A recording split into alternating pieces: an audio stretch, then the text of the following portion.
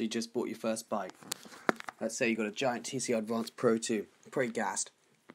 You Got it, got carbon wheels, got the whole carbon frame, stiffest frame on the market, all that bollocks. And then you scroll down, you're like, oh, the big gear's pretty good. You're like, ah, oh, nah. Ah, oh, nah. I got 52, 36, 11, 28. And that's when you know climbing anything over about 8% full gas for me is, is just not really possible. And if I want to chill, you know, anything over 5% is just not really not really good. So anyway, you're thinking like, how can I change my gears? So I went on the old bike gear calculator and I did two calculations. So I did a 50-34 and then I basically showed the biggest gears and the smallest gears. So a 50-11 will get you about 63 k's an hour, 57 k's an hour, 100 RPM. I find it's a little bit lower to be honest. I find like 100 RPM more is like 55, but anyway, that's me. So maybe I'm not as efficient as they say or whatever. But anyway, so roughly around that. So it's not too bad, but it's not insane. Like at 50 k's an hour, 90 cadence. So let's say you want to go 55 k's an hour and you want 90 cadence, then it's going to be a little small. So I think for most people, it's probably fine if you're racing like if you can, you probably get you you might as well get a 52 if it's possible with the gearing, which I'm just going to show you that it is.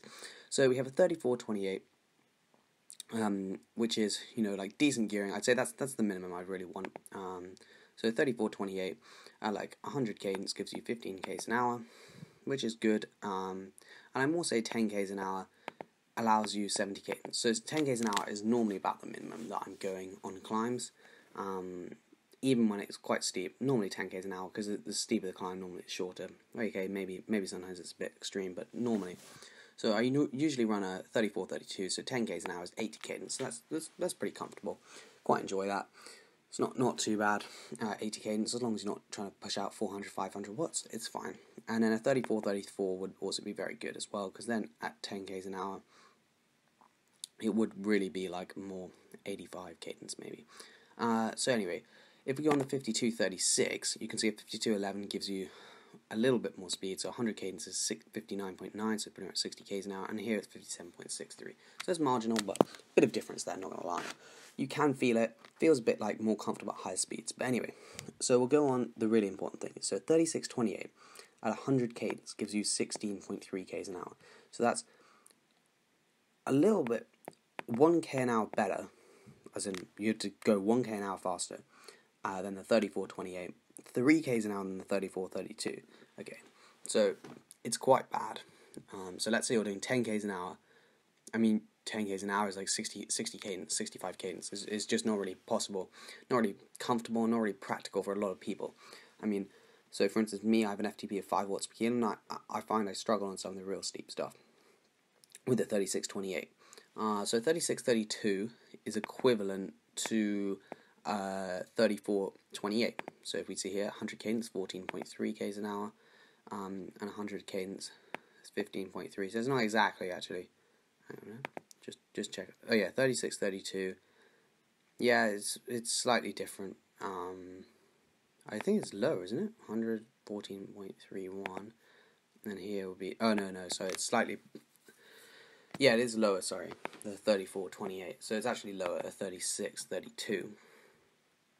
Um, but the 3634, that's what we're talking about. That that I think is a real good 13.43 k's an hour at 100 cadence, and we go at the 3432, and we can see 13.43 cadence. So actually, the 3634 is a very good gear to have, um, and the 3632 is basically I think uh, I think it's it would be a 3430, which is not a terrible gear. Yeah, the 3430 is 14.3, yeah, so it's the 33. Sorry, there's so many numbers. 3430 is equivalent to a 3632. So it's. It depends. Like, if you feel you're not struggling too much, a 3632 gives you slightly more than the average compact. The average compact would be 34, 30, 28. Uh, so it's not too bad. But for me, I feel like I have a 34 32 on my other bike, and I really enjoy that. So I was thinking, how can I get a 36 34, that equivalent ratio? Um, so basically, I decided there were two ways of going about it. There was either shrinking the chain rings and increasing the cassette, or keeping the chain rings the same and just massively increasing the size of the cassette. Now, if you decrease the chain rings, obviously, and increase the, ca- the cassette slightly smaller, you have smaller jumps. Uh, for me, I didn't really mind too much about the jumps. It can be annoying, but you sort of get used to it. Um, but I also thought about the cost. So I was thinking I'll need a new chain anyway. So I thought eighteen pounds on the chain. That's fine. I've ridden my bike quite a long time now. Um, so I think it's probably time for a chain upgrade. I've done about five thousand k's or something on my bike, so not not too far off replacing my chain anyway. Uh, so then I was like, I'll need to get a 5800 rear derailleur, the GS version. The GS does fit the th- 34. Um, and then I was like, I need a 34 cassette. 34 cassettes can be very hard to come by.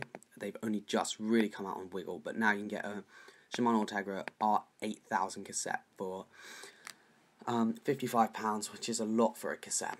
Um, I'm not sure if it has the jumps on here, but I don't know who spends that much on a cassette for the Dura-Ace. Um, so the average weight for an 1134 doesn't even have it. I think it's literally the. I don't think. I don't think they've really like. Really researched it on here because it's actually just such a um.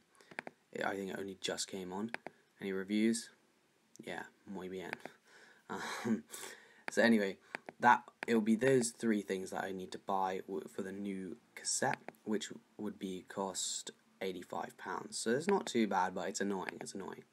The other option, which you probably already saw, was my new chain rings. So chain rings seem to be really hard to find. So let's say these two were twenty seven pounds each. I tend to be I don't think it actually matters. Uh, I hope it doesn't. Um, so that would be I have to buy two new chain rings because I thought oh I could just do a 34 on the inner ring and a 52 on the outside, but people are like, mm, doesn't really work, doesn't really work. There's quite a big jump, and I'm not sure if the big jump would. I mean, I'm rubbish mechanic in the first place, so I don't really want to have a huge jump that I have to be dealing with and aligning derailleur hangers and I mean front derailleurs and stuff, and that would just be. It sounds like a disaster to me. So anyway, you can see basically all the chain rings. That's the cheapest one I could find, apart from maybe this one, but this looks fucking ugly and it's not really possible. So twenty-seven pounds each. Then you have to buy the eleven thirty-two cassette for one hundred oh five, which would cost thirty pounds plus the chain, and it brings it up to a total of one hundred and two pounds. So it's cheaper to go for the eleven thirty-four. Um, and then you have a huge fifty-two eleven, and then you also have a very small thirty-six thirty-four. And I also think it's slightly more versatile because let's say you are racing, let's in a crit, then you, all you have to do is just change to an 1128, chuck it on the back, and off we go. You can ride the 1128, you can ride the 1134, so then you've got basically equivalent gearing of 34, 32. Now, the only other thing I was thinking of doing, which could be slightly cheaper, is basically buy a 36 cassette, 11 speed, 36 cassette. Um, I can't remember how much it was. I'll look on Amazon. I think it was yeah something like it's not too bad for the 11 speed cassette. I think SRAM had one on there somewhere. Yeah, this is it for about 30, 36 pounds or something. I think it was. Yeah, the 1136. Uh, it was 60 pounds. It's quite a lot. But anyway, so and then you buy the road link. So if we go on Google, uh, the Lindaret's road link. I think Sigma Sports sell it. Uh, yeah, they do. Here we go it would cost twenty pounds plus you need a new chain. Twenty six pounds, sorry. You can get fakes on China. Should you buy them? I'm not sure. Not sure at all, really. Um, so then that would mean you wouldn't have to change your derailleur. So you'd have sixty pounds on the cassette, twenty five pounds, twenty six pounds. So that would be eighty six pounds. And then you'd have the new cassette, which would be eighteen. So then that would be um, one hundred and four. It's about the same. But then you'd have a way bigger gearing because then you'd have a one to one ratio which would be equivalent to a 34 34. And you just have to ask yourself, is it worth that? And for me, I just don't think it is because I think the huge jumps between the cassettes would just mug me off. Um, but it's expensive business, this. Get proper gearing on your bike. I mean, it's like, I still don't understand why they do 5236. Like, it doesn't really suit anyone. Like, pure racers, maybe someone who just races their bike and does nothing else with it, but is an amateur, then I'd say yes. But if you actually want to train on your bike, you want to go up steep climbs, like I just wouldn't really recommend it because the gearing is just quite simply not enough. Like in London, you can sort of get away with it because there's no real steep climbs. But when you go somewhere where there are some steep climbs, like even if Surrey, like go up some of the twenty percenters, you're like, I sort of want an easier gear because I don't want to be like doing 400, 500 watts up every little steep incline because actually I, that's the only gears I have. Um, So I think, to be honest, what I'm going to do uh, is buy these parts, try and fit it myself. The 1134 cassette apparently does work. So the other option, if I 100% want to make sure it works, is to buy the new Shimano R8000. Um, what's it called? Rear derailleur. But that might just be too much money for me. Because I'm just not sure if it's really worth it. Uh, what the hell is it? Where is it gone? Uh, that's a 6800. Oh yeah, here we go. That's the short cage. Short cage is 70. So I wouldn't be surprised if the long cage is even more expensive. Um, but the long cage definitely accepts 1134, but I'm pretty sure, almost I know, it's the same with the 32. The short cage takes the 32, and I'm almost certain this one takes a 34. Um, yeah, here we go, 75 pounds for a rear derailleur. It's a lot of coin. It's out of stock anyway, because I think probably loads of people bought it because they were like, oh yeah, now I can run my 34 on the back. Yeah, look here, it's like 1125.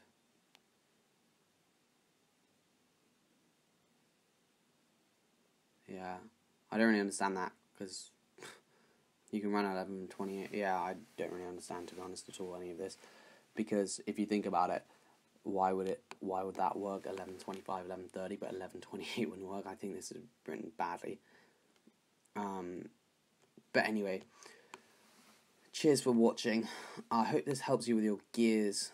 I'd say go the 1134 if you want to have a big gear on the front. If you just want to have like the easiest gears, then yeah, go get a 5034, 1140, and I'd recommend that. But for me, I don't. I haven't yet to find a place where I need 1140. Maybe on a an Everesting, I might might need an 1140. Uh, but for an Everesting, I could. I don't know. I, I'll sort something out if I'm going to do an Everesting. I I don't know if I will at some point, or just go on a slightly less steep climb. But for eighty five pounds, and get the gears I need, pretty much equivalent to a 5311, slightly less, and the same gears as a 3432. So that's pretty beat for me. Cheers for watching, and uh, see you.